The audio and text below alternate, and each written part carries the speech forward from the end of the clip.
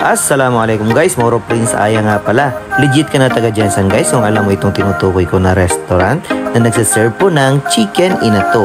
Walang iba kundi ang Joe's Chicken Inato. Sila lamang naman po ang may record na pinaka long running chicken inato na nagsaserve dito sa Jensen City. So matatagpuan po ang Joe's Chicken Inato sa South Usmeña Street, General Santos City guys. Ito po nga pala yung pinaka-favorite po talaga namin na pinupuntahan na restaurant sa tuwing pumupunta po kami ng Jensen. Especially po pag inaabutan po kami ng lunchtime or dinner. Dahil ito po ay sigurado po kami na halal po ang kanilang siniserve na pagkain dito. Dahil po sa non-pork establishment po sila, kami din po sila mga customer na mga Muslim na kumakain dito. Dahil nga po sa certified halal ang kanilang restaurant.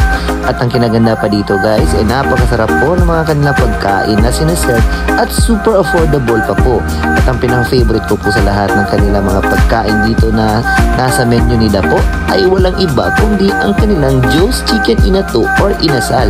At saka parisano na rin po yan ng kanilang buko halo na sobrang creamy at napakasarap that really melts into your mouth.